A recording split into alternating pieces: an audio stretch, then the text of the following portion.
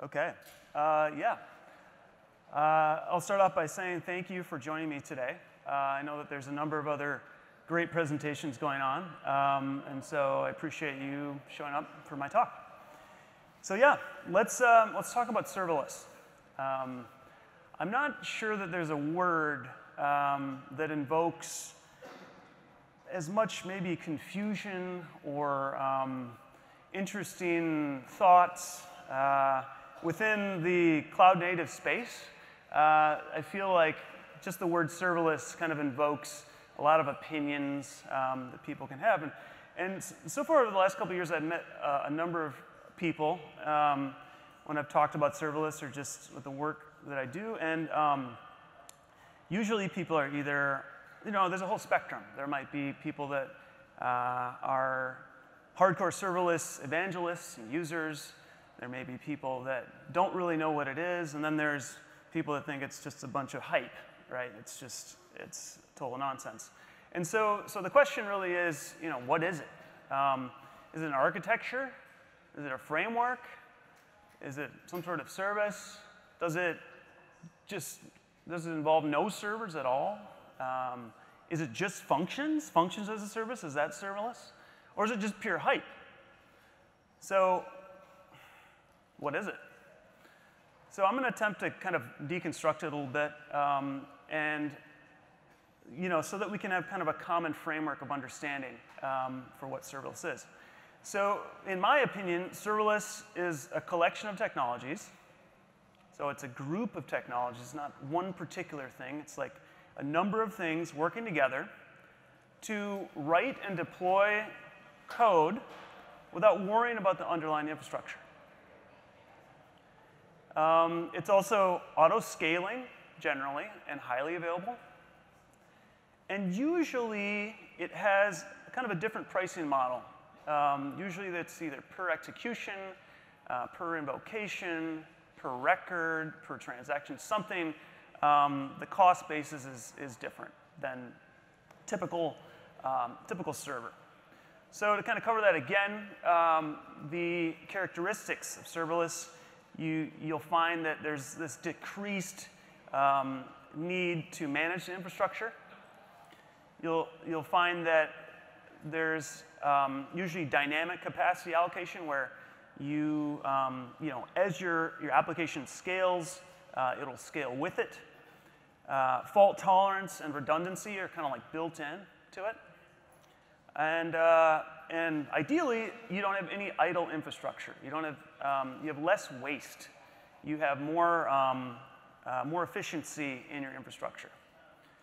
So that's all well and good. We can kind of understand roughly what serverless is, but how can we use it? Like, how can we practically um, put it to best use?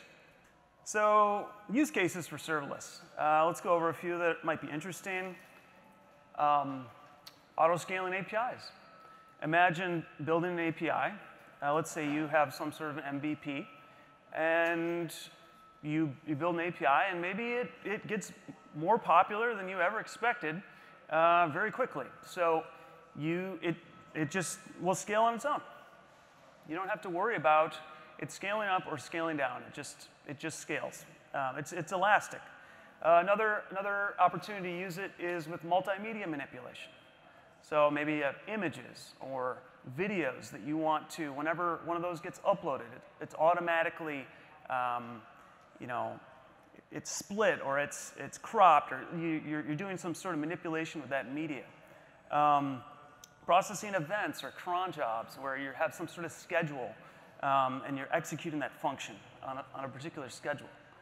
Uh, mobile backends, IoT backends, um, and single page apps. There's a lot of applications for this, and I'm going to go into some examples that will help to, um, to kind of suss this out and provide more, more detail.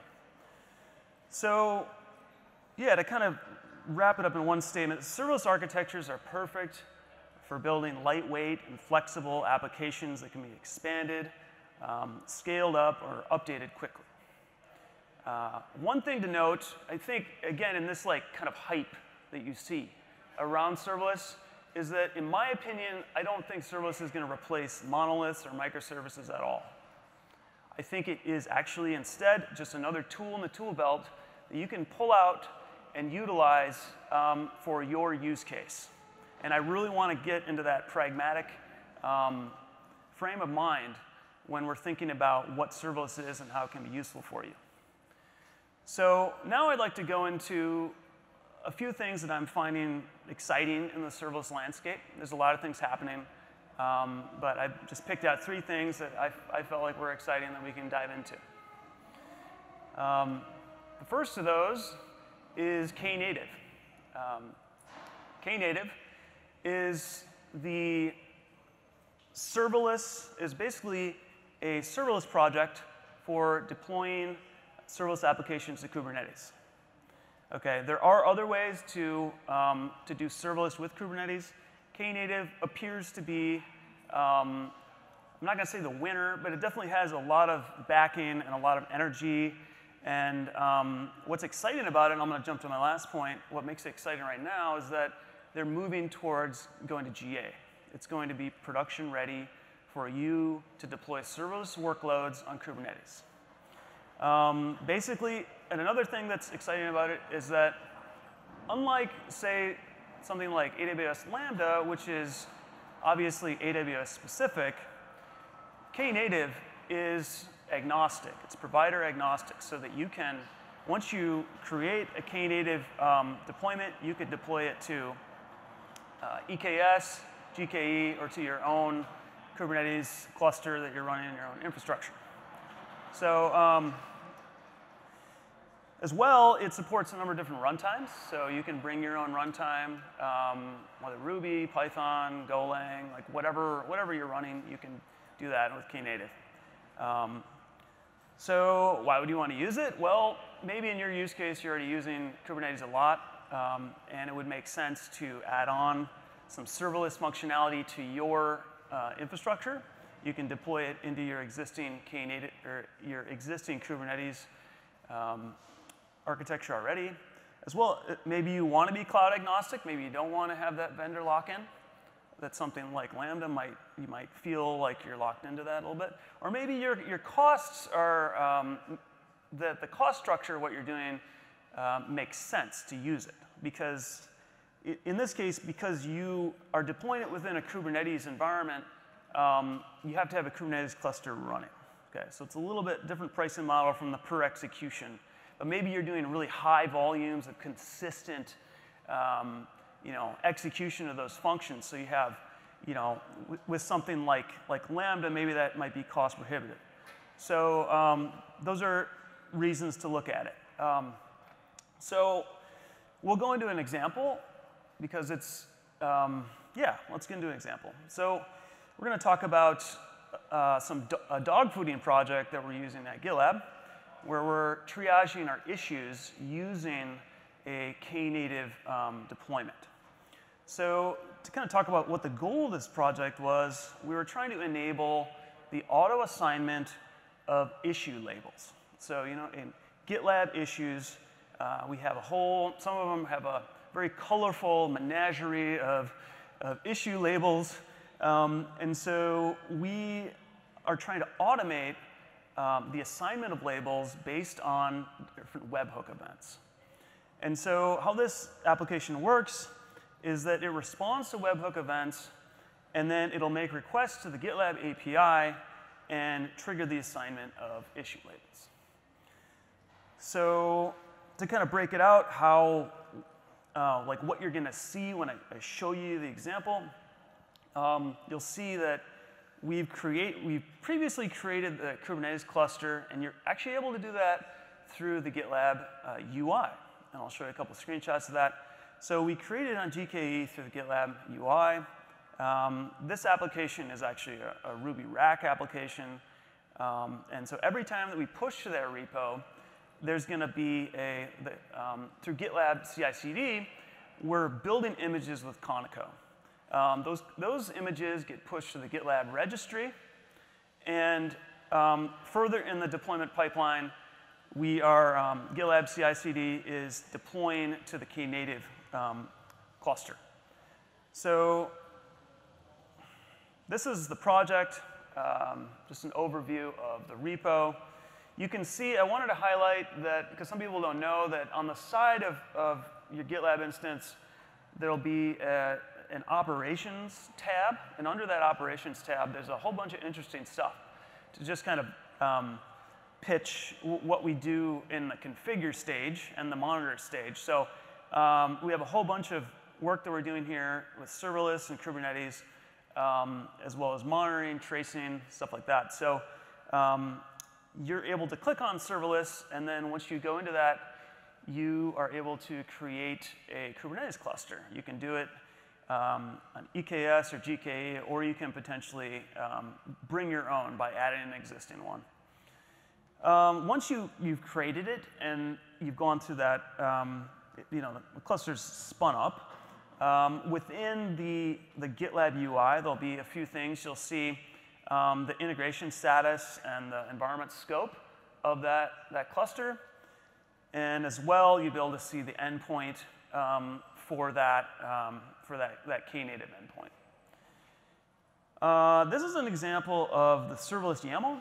Um, so as part of the project, basically, and, and, to kind of roll back a little bit, we have a number of examples that if you want to try this, um, we have example code. And, and in, each, in each one of those examples, we have kind of like a pre-baked uh, serverless YAML that you can leverage. Um, and in this, we're, we're utilizing the uh, TriggerMesh provider. And TriggerMesh essentially is a, um, they, they wrap the Knative client and add some, and kind of extend it a bit in a way that makes, this, makes it easier for us to use. Um, so we're, we're leveraging that. Um, and you can see we're also defining a function. Um, the, the, function handler, uh, we've got a, our, we're using the Ruby runtime and we're assigning, we're, we're, setting up a couple of environment secrets that we need to be able to pass to the Kubernetes cluster. Within the GitLab CI file, we have um, a couple, a number of stages. I'm not going to go into super detail into this, um, but I, I just want to point out that, that we, you know, there's a few different stages in here where we're um, we're testing, building, and then deploying the secrets, and then doing the final, the final deployment. This is what the pipeline looks like. Um, we split the deploy, um, the deploy secrets and deploy triage because we have two different instances of this, um, this function running. And so within the, the build stage, um, I don't have a pointer here, but I don't know if you can read there. It says, um, it says Kaniko executor in line 31. Basically, within the build, I just want to point out that Kaniko is actually doing the ex like like building the, the container image and pushing it to uh, the GitLab registry. Then within the secrets, uh, the secrets job, we're again pushing those, uh, those tokens out. And then we're finally getting to the, to the serverless deployment um, in the final, uh, final job. And this is um, the result of, of all that work. Essentially, whenever, um, basically, when certain criteria are met, when certain webhooks are triggered, those will uh, cause the, or it will initiate, you know, a request to this, and it will assign labels, for example, this customer label, uh, to a particular issue. So that's Knative. The, the second uh, thing that I'm kind of excited about in the serverless space is serverless at the edge uh, which sounds really amazing and fancy, and it kind of is. Um, so basically what serverless at edge is, is it allows you to leverage the um, provider CDNs, and you can deploy your functions right to the edge. Uh, you can execute those functions much closer to your users, so you have less of a, an, an issue with latency, get better performance. And there's a few examples of this. For example, Lambda at the edge, Cloudflare workers, or Fastly Compute at the edge. Those are three examples of providers that are enabling you to be able to do this. And so why would you want to use it? Well, maybe in your case you have a requirement for lower latency. Um, maybe you want to be able to do some A-B testing. Um, or, for example, you know, let's say that you, you had a custom, um, some custom security routing that you wanted to do to be able to catch certain, a certain IP range or, and do something, you know, specific with it at, at the edge routing level.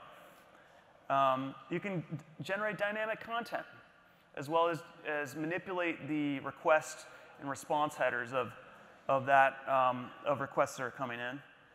Uh, as well, you can build single page apps and deploy those to the edge. And, and that's what we'll go ahead and we'll do.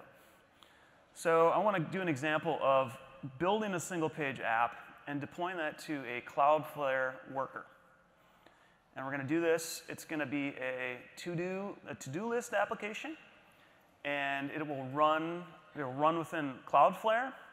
And this application is going to connect to the Cloudflare Worker KV which is a key value store that they um, provide for you. You get a specific namespace. Uh, and so you can actually connect that, that application directly to a data store. And this is all happening on the edge. Um, we're going to deploy it using the service framework. So the service framework is a, again, is a is an open source project that, that allows you to do this type of deployment. Uh, and it'll all be deployed through, um, we're going to invoke serverless framework through GitLab CI. So this is the serverless YAML file. You can see that, and so this is the configuration that serverless framework is going to use. Um, we are utilizing the Cloudflare provider and configuring it, and you know, obviously we need to give it our account credentials so that it knows what account to use. We're leveraging a plugin called the Serverless Cloudflare plugin, or Serverless Cloudflare Workers. Um, further down, we're defining our function. And also, I wanted to note that under the resources, we're assigning the KV namespace. And that's actually what's going to create the, um, the key value kind of um, data store for us to be able to leverage. And then further down, it, we're assigning a route to it. So I, am not going to show you all the single page application code, but this is a block that I wanted to highlight. You can see on line 85 and 86 is where I'm within the code because I've, I'm going to define that namespace and assign that namespace to a variable. I can leverage that variable within my single page application and get access to that key value store. So that's what's happening on line 85 and 86 is I'm kind of setting up that cache to be able to leverage. Um, this is the GitLab CI. We've got a couple stages. Essentially, and this is obviously very, very basic, um, we are installing you know, serverless framework and all the plugins. I'm doing a little bit of checks to make sure that my Cloudflare um, credentials are actually available. If not, it's gonna, it's gonna blow up. Um, and, and then um, we're, we're doing the serverless deploy. So yeah, we've got a couple, um, we've got a couple jobs here to do that. So once the production, production job runs, you can see it's going to, on line 48, 49 um, is where we've got a successful, successful deployment. Once that goes out, when we log into Cloudflare, uh, if, you, if you go into Cloudflare, you'll see that under their, um, they have like a workers section uh, each worker, it's, it's kind of interesting. It has a, um, it's kind of like an editor, but it, um, you can preview uh, like what the actual, um, you know, like what the, the actual application or the response that, that you want is going to be. And so um, we've deployed it here. You can see there's some of the code, and this is what the, the uh, this is a preview of what it's going to look like. Um, uh, as well, um, this, our, our, deployment also creates the workers KV data store. Um, so it sets up a, that variable name and assigns it to an, a particular ID. And then voila, we have a single pa page application that's running. Um, and uh, yeah, I mean, luckily, you know, I was able to get most of the things done on my to-do list, but there was one thing that didn't, didn't happen. Um, so that's serverless at the edge, and I think, it, I think it's really interesting and, uh, and, ha and has a lot of potential applications that, that are um, worth looking into. So the next thing, or the final thing that um, that I'm excited about is serverless integrations. And serverless integrations is essentially where you leverage cloud service integrations um, to stitch together um, and create kind of dynamic serverless uh, applications without writing a lot of functions. Okay, Th these are these are kind of like built-in integrations between the different services that you can use, um, and it, it saves you a lot of boilerplate. And so essentially, you're, you're linking these services together, uh, and, but, but you need to, you need to you know, assign linkages between them. And, and you can do that uh, using things like um, Terraform or Service Framework or AWS SAM, things like that. So, um, and another thing that's cool is that functionless serverless, it's kind of, we're going to get uber hype here, um, is possible with this. And we'll actually do, a, we'll do an example of that. So why, why would you want to use serverless integrations? Uh, well, again, you can create direct connections between services. There's tons of different ones that are supported already. So, for example, queues and NoSQL and uh, data streaming, things like that. It, it allows you to do it with fewer functions, so you don't have to actually do the manual kind of like movement of the requests or movement of the data or whatever. It just automatically happens. It's reducing complexity, and it allows you to easily build, you know, powerful applications. So let's go ahead and we'll take a look at an example of this. Basically, this is an example um, where we're going to do a functionless serverless application where, where it'll allow us to push data directly into AWS SQS via API gateway. Okay, there's no Lambdas involved in this at all. So what we're going to do is we're going to make a, a direct uh, proxy integration from API Gateway to SQS. Um, and we're going to do that utilizing the serverless framework again and deploy it through GitLab CI/CD. So this is the entirety of, of the project. So you can see there's, there's only the GitLab CI file, which is doing the, the testing and deploying, and there's only the serverless YAML, which is literally just setting up AWS resources. There's no functions involved, okay? So here we have the serverless YAML. You can see that uh, I'm utilizing a plugin called the Serverless API Gateway Service Proxy. This plugin um, is kind of fancy. It, it does kind of enable, it's specific to um, creating configuration um, with API Gateway and setting up those, those proxies, uh, those proxy services. And so within that, I'm assigning a particular endpoint and a uh, HTTP method for that. And, and also, um, I'm, like further down, I'm creating an SQS queue and uh, giving it a name, and then I utilize that up in the queue name under um, the API Gateway Services proxy. So, and then within my GitLab CI, again, this is similar to the last one. It's pretty simple. Um, obviously, we could get very uh, much more complicated with this. But uh, a couple stages, we're doing you know, npm install. I want to check to make sure that my AWS keys are present. And then uh, I'm actually doing the deployment, utilizing Service Framework. So yeah, we got a couple stages. And then within that production stage, you can see um, if, we, if it's successful, at the very end, you can see the stack output. So uh, when it's successful, we have a um, service endpoint. We have, and then right there on 117, you can see the serverless API gateway service proxy outputs. Um, and that, that's going to be, and you can, on, on line, line 119, it kind of wrapped a little bit, but you can see that my, my, uh, my endpoint is there. So let's take a look at AWS. What did it do? Um, it, it created a, uh, an, a resource uh, with an endpoint. Um, and yeah, in, in, in the middle there, you can see that there's, there's the integration request, and it connects directly to uh, SQS. Okay, so then if I go into SQS, uh, you can see that it created my queue for me. And I'm going to go ahead and test that by running a curl request against uh, my API gateway endpoint uh, with a, just a simple, simple block of JSON. Um, and you can see that it goes straight into the SQS. It goes right into the queue.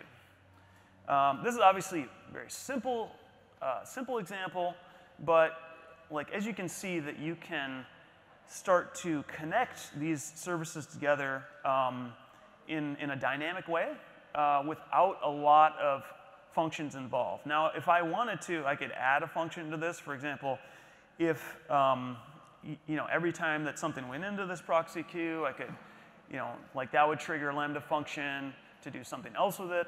Um, that's a pretty common pattern. So, but I wanted to point out, like, the important thing is that there's these service integrations that you can leverage that don't have anything to do with functions at all. So when people talk about serverless, when they talk about, like, they're trying to define it, um, I'm trying to expand the definition of it to be much more than just functions. Okay, like much more than, than just um, executing you know, a, a, cloud function, all right? That's the point. So key takeaways here. Um, serverless, we, we, we tried to come to a, a definition that was, um, that was, I mean, like, we tried to come to a specific, more defined um, definition of it, a refined definition, I should say. So it's highly scalable, it's cost efficient, and it lowers your infrastructure overhead. Okay. Uh, we talked a little bit about Knative. Uh, I'm, I'm, excited that it'll be production ready soon, and if you're using Kubernetes already, it might be a solution for you to look into uh, to deploy serverless workloads to your Kubernetes clusters. Serverless at edge, I think is really exciting. Um, if you're dealing with, you know, for example, um, hor you know, horrible VCL in Fastly or something, like this might be something to investigate. Um, so because you can be writing JavaScript or another, you know, easier, higher level language than trying to do a lot of the work in, in, in VCL. Um, and then finally, the service integrations we covered. Um, I think they're really cool. They empower developers to kind of stitch together these cloud resources um, and create interesting dynamic application. So um, thanks for attending today. I appreciate your time. And if you have any questions, feel free to come on up and uh, we can have a conversation. So.